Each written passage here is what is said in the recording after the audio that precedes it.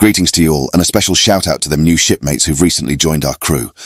It'd be a well-known fact that folks on YouTube usually set their sights on the latest videos, leaving the old ones to gather dust like a forgotten treasure chest. So let me swiftly bring you closer to who I am and what I be about me hearties. I be Dad Vader, but me mates call me Tukos. A Polish Viking sailing the seas from Yorkshire I be. Landed me ship here 18 years ago. A husband and a father to two little Vikings.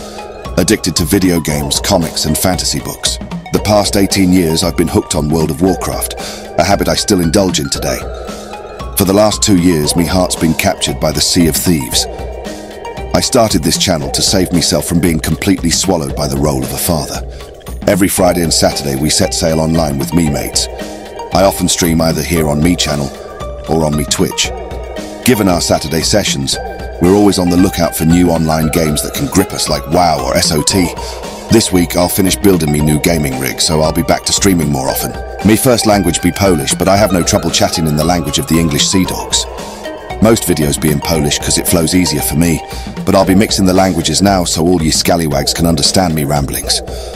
I'll also be adding subtitles to make it easier for you to grasp the message. On me channel, you'll find playlists, including one with videos in English or with English subtitles. I'll drop the link in the description, along with one to me Twitch channel.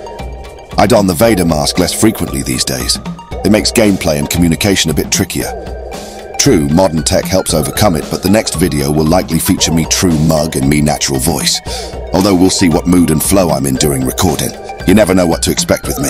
Once again, thanks for stopping by, subscribing and being active on the channel. Don't forget to leave a mark, whether it be a sub, like or comment. It's mega uplifting and keeps me motivated to keep creating. Until next time, see you here or on the live stream. Fair winds.